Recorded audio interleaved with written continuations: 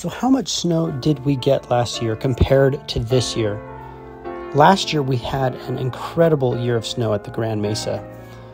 Typically, we get between three to 400 inches of snow per year.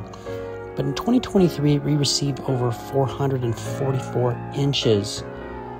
Just to give you an idea, the Powderhorn Mountain Resort had their longest ski season in record from open from November 25th to April 9th.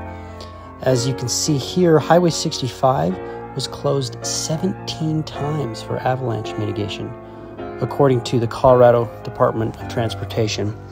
So, how much snow is 444 inches? Well, I wanted to show you what last year looked like compared to this year using some pictures of cabins. As you can see, the snow was so heavy and deep that this cabin saw some significant damage last year. And now, if we look at that same cabin, it's now repaired and with considerably less snow on and around it. Those two pictures, there's a drastic difference. In this picture, you can see you can just see how much snow is there. You can see the snow is as tall as the balcony, not to mention how much is on the roof.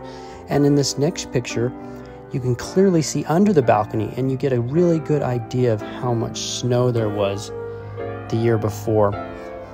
Uh, here's another cabin. This is not one of the Grand Mesa Lodge's cabins, but you can see it's completely covered. I mean, how do you even access this place?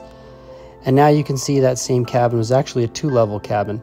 So last year we received considerably more. This year we still had a good fall.